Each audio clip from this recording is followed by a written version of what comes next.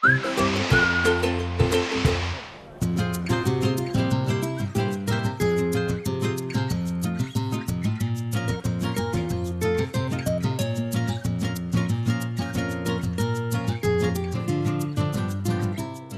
الملكة علياء للمسؤولية الاجتماعية للعام 2013-2014 حول الطاقة الشمسية واستخداماتها المختلفة بهدف رفع الوعي بفوائد الطاقة الشمسية الصديقة للبيئة.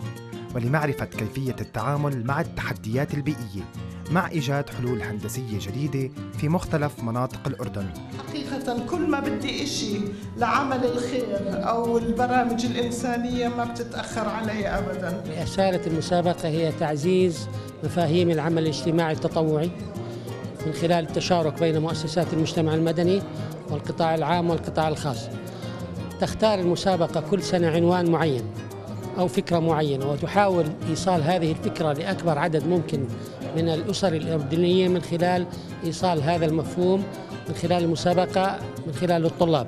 لهذا العام على سبيل المثال نحن وصلنا إلى 560 ألف طالب وطالبة في موضوع وعنوان نعتقد أنه مهم وهو آه، الطاقة البديلة والطاقة الشمسية. بمناسبة اختتام فعاليات المسابقة لهذا العام سلمت سمو الأميرة بسمة بنت طلال الجوائز الرئيسية للفائزين وعددهم 26 فائز.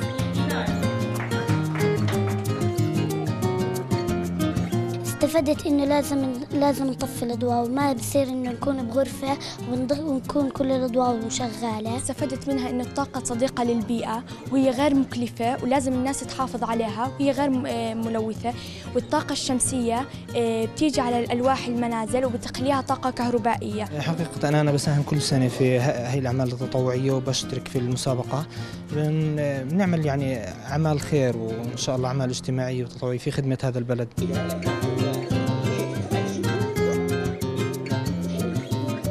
تضمن التكريم عرض فيديو تم تنفيذه خلال الحملة الخاصة بالتوعية بموضوع الطاقة الشمسية. الطاقة الشمسية